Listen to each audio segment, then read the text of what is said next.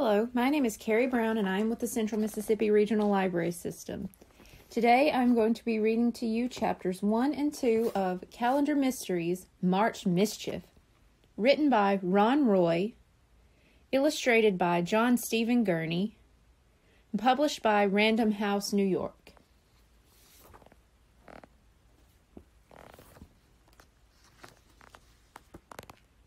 Chapter 1 A Leprechaun Named Pal.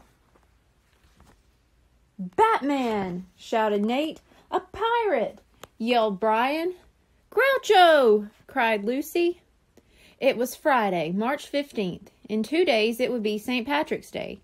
Every year, people in Greenlawn had a St. Patrick's Day contest. They dressed leprechaun statues in funny outfits. The mayor chose a winner, and there was a prize. Everyone who entered the contest bought a leprechaun statue for $5. The money went to help a local food bank. The four kids had chipped in and bought their statue together.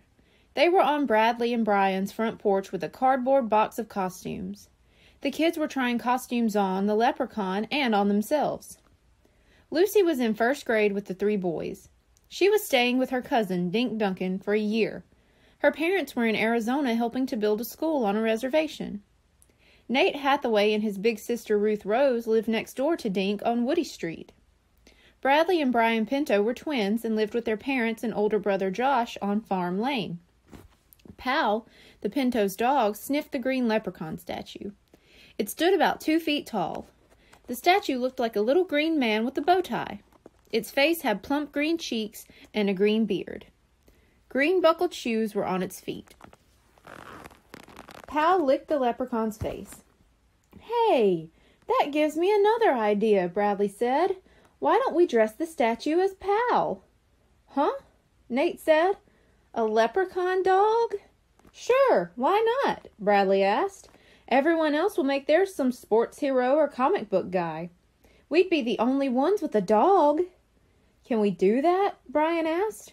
Why not? Bradley asked. The mayor's rules didn't say it had to be human. That's a great idea, Lucy said. We can make floppy ears, a tail, and a doggy nose, and we can name it Pal.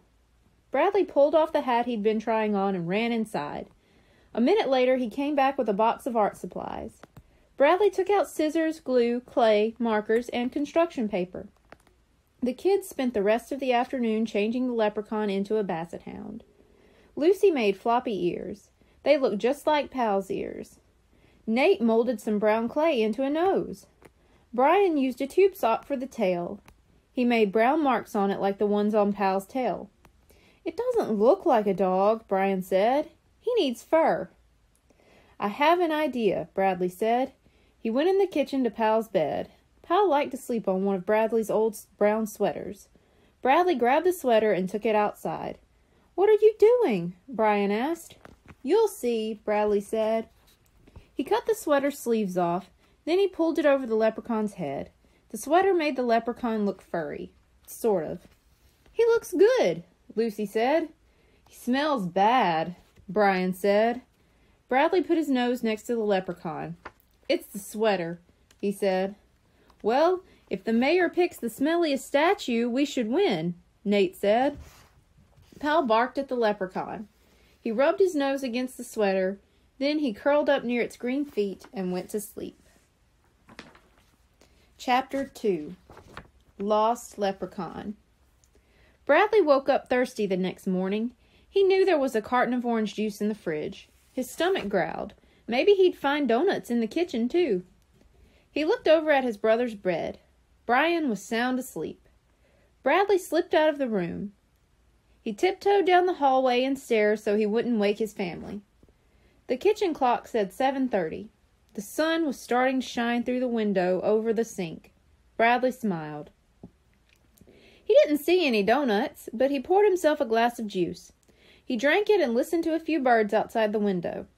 Then he remembered the leprechaun statue on the porch.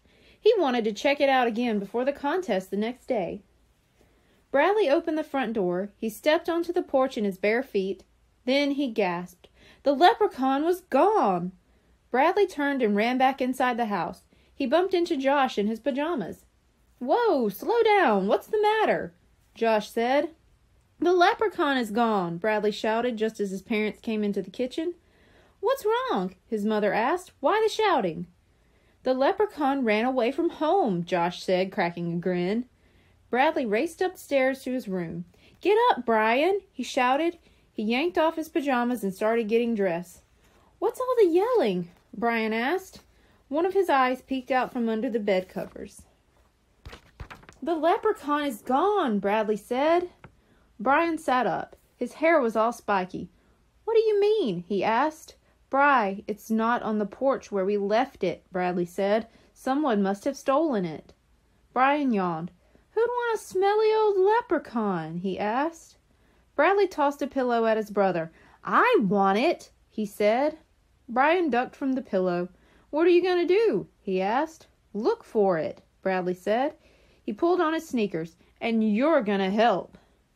Two minutes later, Bradley and Brian were in the backyard. Brad, if someone stole it, why are we searching our own yard? Brian asked. Bradley peered inside a clump of bushes. Maybe someone hid it out here to play a trick on us. The brothers looked under shrubs, in the barn, and even up in trees. Their mother opened the back door. You boys come in and eat some breakfast, she yelled. Bradley and Brian walked back into the kitchen. Before sitting down at the table, Bradley called Lucy. Someone stole the leprechaun, he told her. Call Nate and come over. Maybe someone just took it for a joke, the boy's mother said after Bradley hung up. She looked at Josh. Don't look at me, he said. It's probably your buddy Nate. He loves playing jokes on people. Bradley thought about Nate. Would he steal the leprechaun they had all worked on so hard? While they were eating oatmeal, the phone rang. Josh jumped for it. Hello? he said. Just a minute. Josh placed the phone next to Bradley's orange juice. For you, he said. Someone with a bad cold. Bradley picked up the phone and said, Hello? Lucky O'Leary stole your leprechaun, a hoarse voice said. Then the caller hung up. Thank you. Be sure to tune in next week for chapters 3 and 4. Goodbye.